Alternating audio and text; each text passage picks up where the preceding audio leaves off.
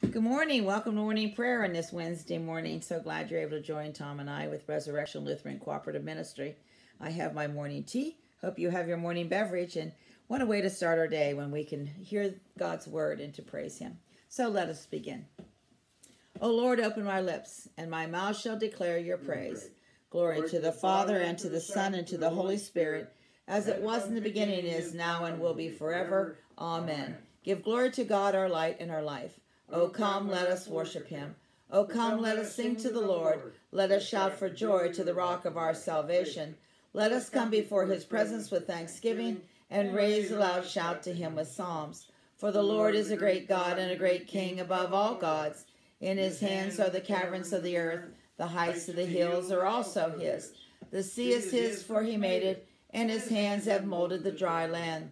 O come, let us bow down and bend the knee and kneel before the Lord our Maker. For he is our God, and we are the people of his pasture and the sheep of his hand. Glory to the Father, and to the Son, and to the Holy Spirit, as it was in the beginning, is now, and will be forever. Amen. Give glory to God, our light and our life. Oh, o come, let us worship him. Our psalm today is Psalm 1. Happy are they who have not walked in the counsel of the wicked, nor lingered in the way of sinners nor sat in the seats of the scornful. Their delight is in the law of the Lord, and they meditate on his law day and night. They are like trees planted by streams of water, bearing fruit in due season, with leaves that do not wither. Everything they do shall prosper. It is not so with the wicked. They are like chaff, which the wind blows away. Therefore the wicked shall not stand upright when the judgment comes, nor the sinner in the counsel of the righteous. For the Lord knows the way of the righteous, but the way of the wicked is doomed. Let us pray. Lord God, in your loving wisdom, you have set us beside the fountain of life, like a tree planted by running streams.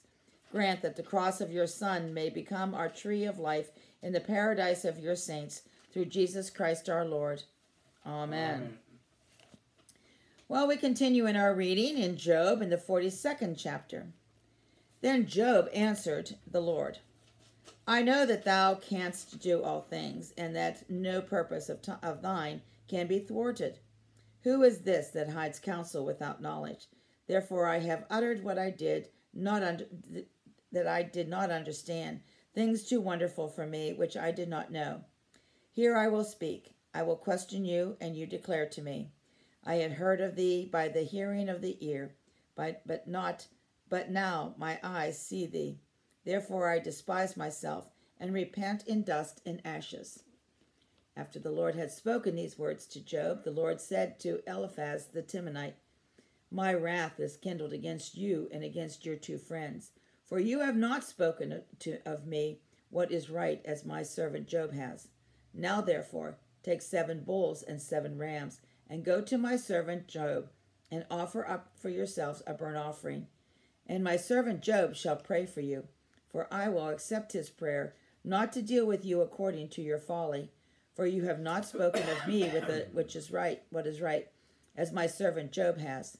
So Eliphaz the Temanite, and Bildad the, Shu, the Shuhite, and Zophar the Naamathite went and did what the Lord had told them, and the Lord accepted Job's prayer.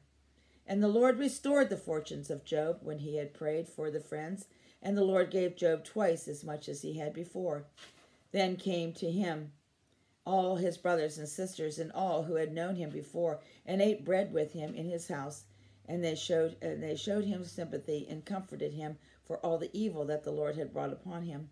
And each of them gave him a piece of money and a ring of gold.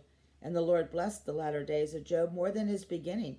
And he had fourteen thousand sheep, six thousand camels, a thousand yoke of oxen, and a thousand she asses. He had also seven sons and three daughters. And he called the name of the first Gem, uh, uh, hmm. and the name of the second K, uh, and the name of the third Keren-happuch. And in all the land there was no woman as fair as Job's daughters, and their father gave them inheritance among their brothers. And after this, Job's, Job lived a 140 years and saw his sons and his sons' sons, four generations, and Job died an old man and full of days. The word of the Lord. Thanks, be to God. God. Let us pray. Oh, let's go to Acts first. Acts 16, beginning with the 16th uh, verse. As we were going to the place of prayer, we went. Uh, we were met by a slave girl who had a spirit of divination and brought her owners much gain by soothsaying. She followed Paul and and us, and crying, "These men are servants of the Most High God, who proclaim to you the way of salvation." And she and this she did for many days. But Paul was annoyed and turned and said to the spirit, "I charge you in the name of Jesus Christ to come out of her." And it came out that very hour. But when her owners saw that this hope of gain was gone, they seized Paul and Silas and dragged them into the marketplace before the rulers. And when they had brought them to the magistrates, they said, These men are Jews, and they are disturbing our city. They advocate customs which is not lawful for us Romans to accept or practice. The crowd joined in attacking them, and the magistrates tore the garments off them and gave orders to beat them with rods. And when they had inflicted many blows upon them, they threw themselves them into prison, charging the jailer to keep them safe. Having received this charge, he put them into the inner prison and fastened their feet in the stocks. The word of the Lord. Thanks, Thanks be be to to God. Oh, I can't wait to finish that story because I know the ending and it's a good one. In many and various ways, God spoke to the people of old by the prophets. But now in these last days, he has spoken to us by his Son. Blessed be the Lord, the God of Israel. He has come to his people and set them free. He has raised up for us a mighty Savior, born of the house of his servant David. Through his holy prophets he promised of old that he would save us from our enemies, from the hands of all who hate us. He promised to show mercy to our fathers and to remember his holy covenant. This was the oath he swore to our father Abraham to set us free from the hands of our enemies, free to worship him without fear, holy and righteous in his sight, all the days of our lives. You, my child, shall be called the prophet of the Most High, for you will go before the Lord to prepare his way, to give his people knowledge of salvation by the forgiveness of their sins. In the tender compassion of our God, the dawn from on high shall break upon us, to shine on those who dwell in darkness and the shadow of death, and to guide our feet into the way of peace. Glory to the Father, and to the Son, and to the Holy Spirit, as it was in the beginning, is now, and will be forever. Amen. Let us pray. Keep, we pray you, O Lord, your church with your perpetual mercy, and because without you we cannot but fall. Keep us ever by your help from all things hurtful, and lead us to all things profitable to our salvation. For you live and reign with the Father and the Holy Spirit, one God, now and forever. Amen. O Lord Almighty and everlasting God, you have brought us in safety to this new day. Preserve us with your mighty power that we might not fall into sin nor be overcome in adversity. And in all that we do, direct us to the fulfilling of your purpose. Through Jesus Christ our Lord. Amen. Amen. Lord, remember us in your kingdom and teach us to pray. Our Father, who art in heaven, hallowed be thy name. Thy kingdom come, thy will be done on earth as it is in heaven. Give us this day our daily bread, and forgive us our trespasses, as we forgive those who trespass against us.